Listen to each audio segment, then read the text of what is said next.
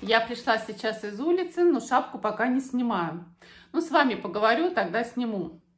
Просто мне сейчас позвонила неожиданно, ну, моя знакомая, скажем так, вернее, родственница. Просто я не хочу называть имя. Ну, может, ей будет неприятно то, что я про нее рассказываю. А может, ей будет и все равно. Ну, в общем, неважно, какое имя. Вот, и она мне недавно позвонила, вот сейчас, буквально 10 минут назад, и рассказала.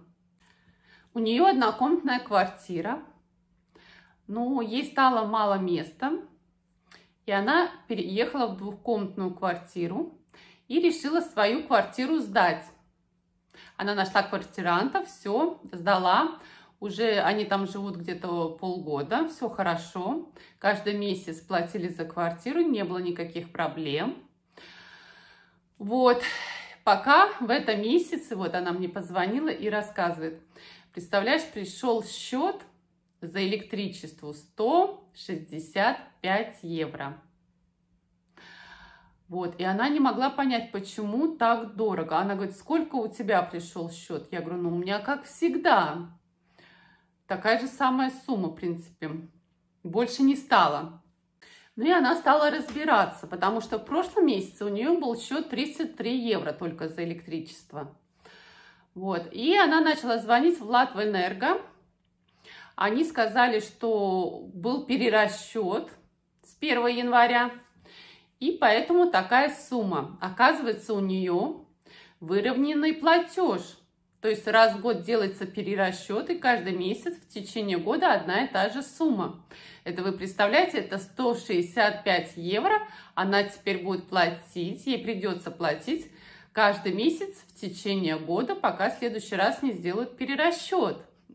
А оказалось, что у нее квартира, а, хоть там и есть центральное отопление, но она очень холодная.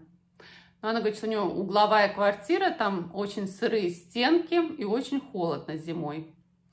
И, видимо, квартиранты, ну, как потом выяснилось, она им позвонила, да, они подтвердили, что они потапливали квартиру электрическими обогревателями. Поэтому получилась такая сумма. Но самое интересное, что они уже отапливались давно, но ничего ей не говорили. И приходила сумма вот 30 евро, и они молчали. И вот пока не сделали перерасчет, и такая теперь сумма.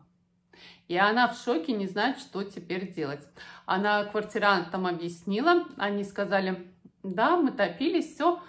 Ну, а что делать? Они начали жаловаться, что квартира очень холодная, мы тогда будем съезжать, они говорят, и будут искать более теплую квартиру. Но они за последний месяц заплатят, и все, и больше они сказали, ничего платить не будут. В общем, моя знакомая родственница, скажем так, попала на большую сумму денег. Я ей, конечно, очень сочувствую. А к чему я это все рассказываю? Я просто хочу предупредить людей, кто собирается сдавать квартиру или уже сдает, обязательно проверьте, какой у вас заключен договор с Латвэнерго. Если у вас выровненный платеж, то лучше, конечно, поменять на другой договор. Мне сестра еще говорила, когда она звонила в Латвэнерго, она сказала, мы вам поменяем договор, чтобы вам было удобнее, ну, чтобы по счетчику каждый месяц. Вот, и она сказала, что они ей еще там начали предлагать, там у них в Латвэнерго этих пакетов э, всяких разных.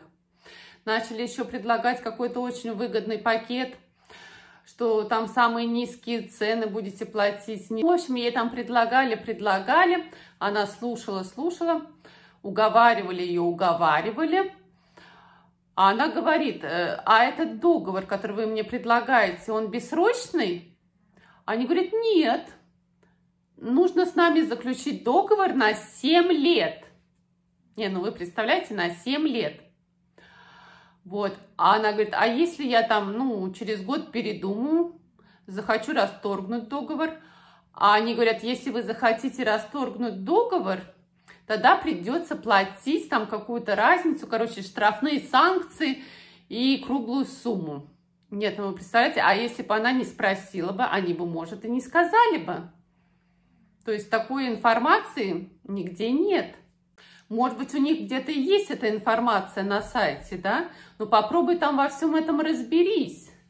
Это же очень сложно, особенно если пенсионеры, например, пожилые люди, да? В общем, я поняла, что когда квартиру сдаете, выровненный платеж лучше договор не делать, а снимать все каждый месяц показания и самим считать, все контролировать. Так же самое и за воду.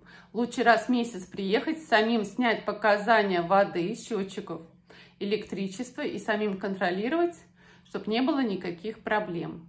Если, например, лень приехать раз в месяц, да, ну, сейчас же всякие программы, уже технология идет вперед. Можно через WhatsApp сказать, чтобы он вот сейчас подошел и показал вам показания счетчиков.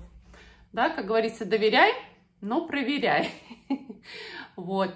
И я бы еще рекомендовала бы, когда сдаете квартиру, чтобы тоже не было проблем, брать всегда предоплату за первый месяц и за последний. Потому что очень много случаев, когда жильцы съезжают и за последний месяц ничего не платят. Просто мне стало очень жалко свою родственницу, я ей очень, конечно, сочувствую, поэтому мне захотелось рассказать всем, предупредить, чтобы кто-то так же само не вляпался. Как говорится, будем учиться на чужих ошибках. Всем всего хорошего. Пока-пока.